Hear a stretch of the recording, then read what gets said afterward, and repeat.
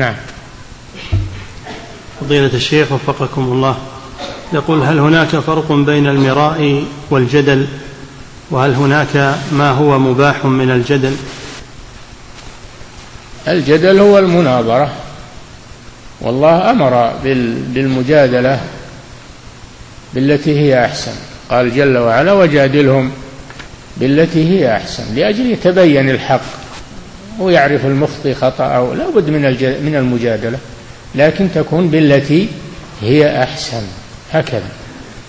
وأما المراء فهو لا ليس هو من الجدل. المراء يراد به التكبر والانتصار للرأي و أو آه، التعصب لبعض الآراء.